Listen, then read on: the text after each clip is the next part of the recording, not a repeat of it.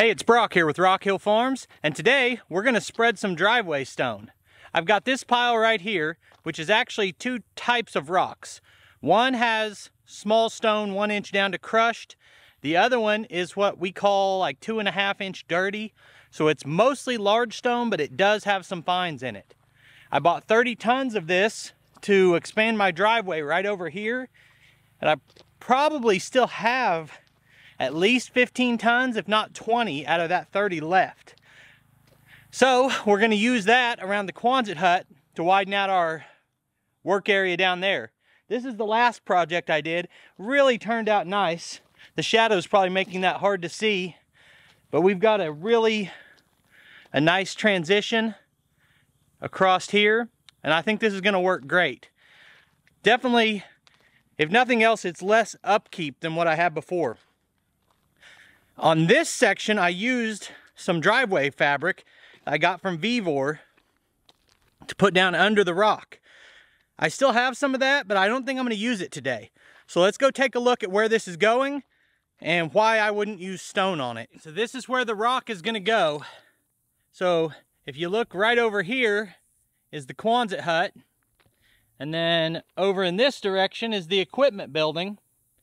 And what I want for this area We've got rock in between our main shop and the equipment building, and then rock all the way around the equipment building.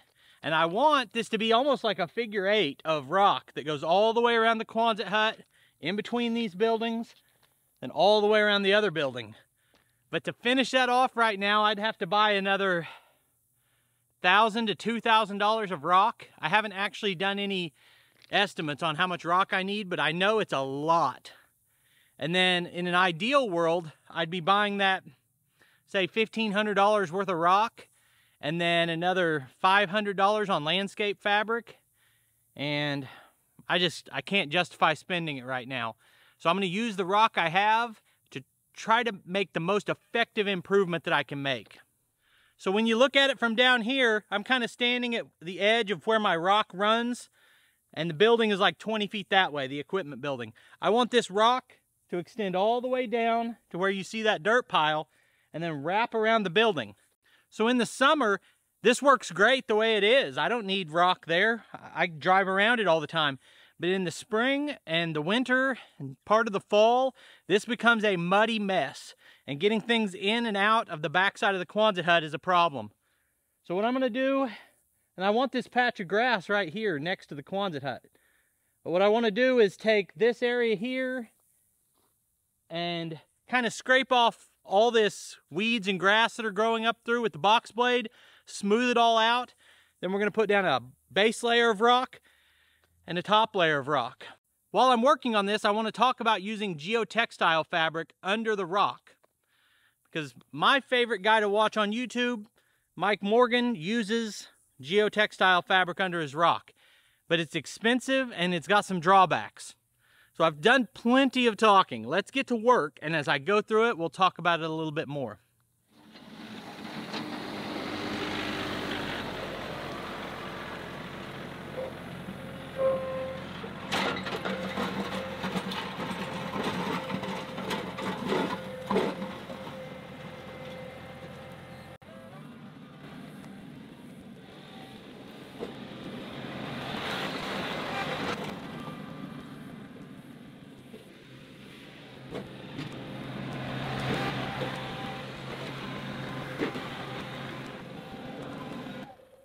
Box blades kind of need to be heavy. I've got four suitcase weights hanging on this one to help it dig in a little harder, but it's still not breaking that up very well. So I'm gonna put the rippers down and see if we can tear into that. I wanna get all of the grass roots out. It's not grass, it's weeds, whatever's growing here. I wanna get all that ripped out before we put rock down.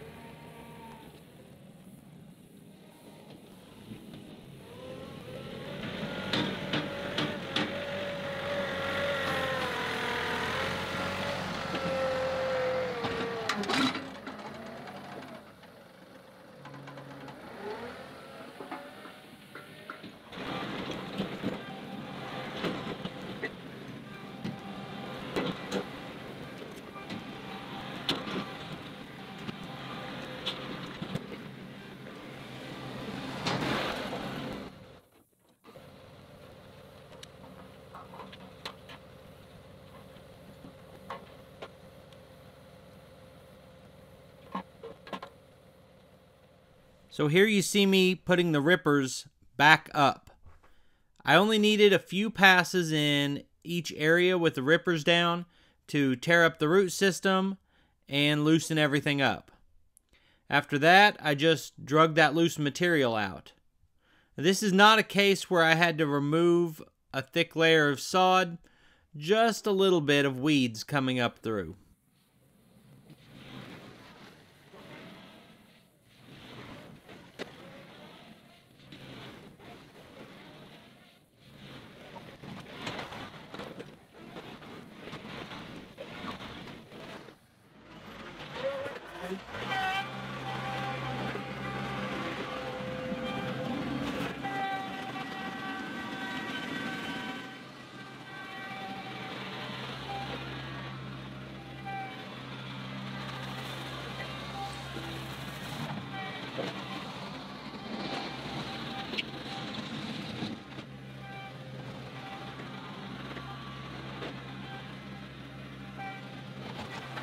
It's a decently long drive up to the area I'm working on. So one strategy I had to make this quicker is to carry up one bucket full of rock and then load the box blade with rock and drag that up there on my way to cut the number of trips in half. On the other end, I would empty out the box blade first going forward and then use my traditional spreading method to lift the bucket up high and then drive backwards, sprinkling stone out. I do it that way because it's hard to use a box blade on uneven ground. So if when you initially spread the stone, if you can spread it out in an even layer, it makes your follow-up work easier. As you can see here, I'm doing my best to spread it in a smooth, thin layer the first time.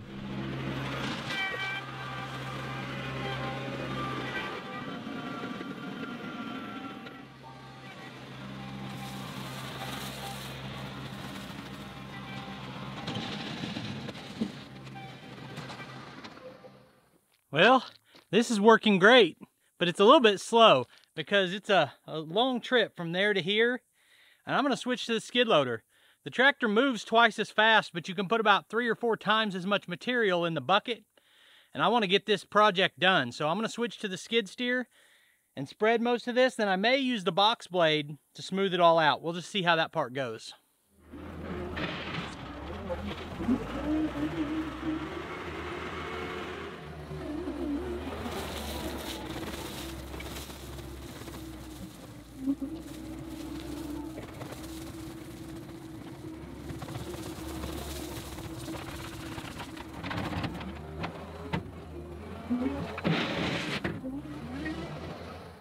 Working with the skid steer, I'm using basically the same strategy to spread that thin layer while driving backward. And it works about the same. I think maybe you can actually spread it a little bit better with the skid steer. But you have the same problem that you have with the box blade of trying to back drag with your bucket if you're on that uneven ground. About the only reason that made sense for me to switch machines here is the larger capacity of the bucket. The skid steer also would have done a really nice job of ripping those weeds out at the start of the project and setting up our base layer.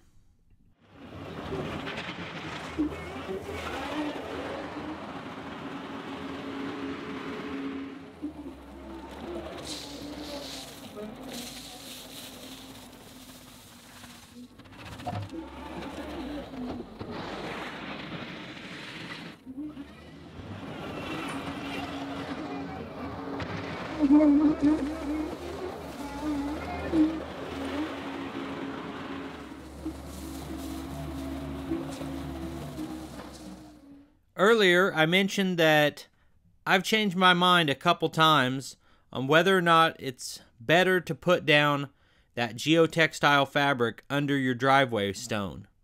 And opinions will vary on that. A lot of people say that it's meant to be a weed barrier, but I find it to be a poor weed barrier because grass and weeds will grow on top of your rock even if they don't grow through it.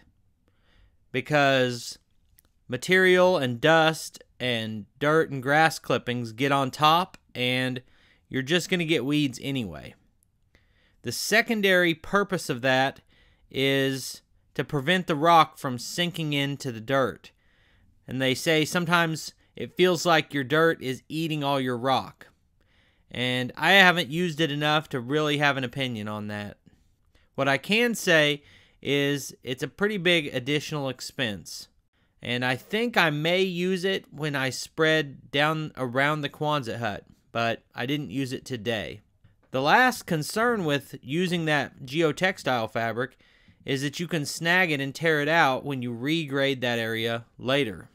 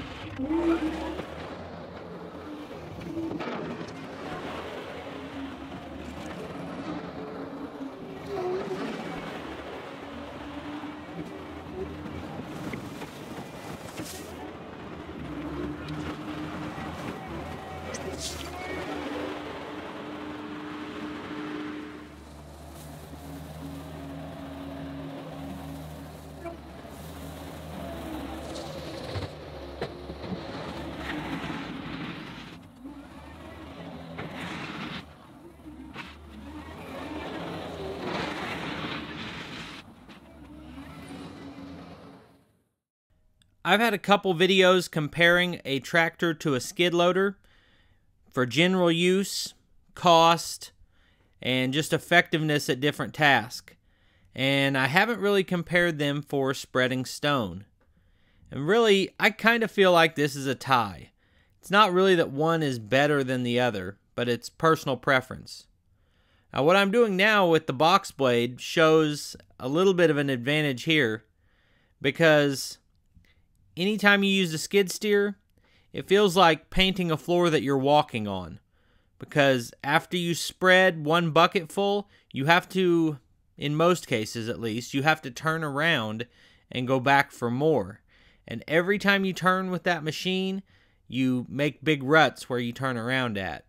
So unless you can find a way to not make any turns, it's kind of difficult to do that final dressing.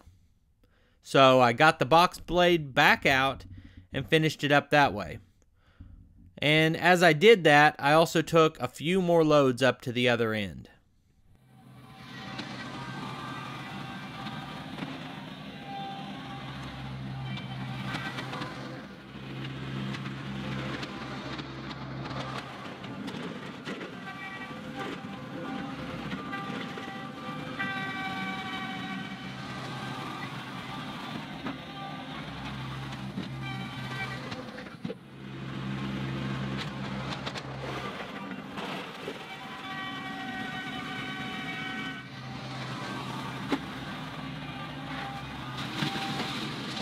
So I feel like this turned out pretty good. This area looks the way I want it to.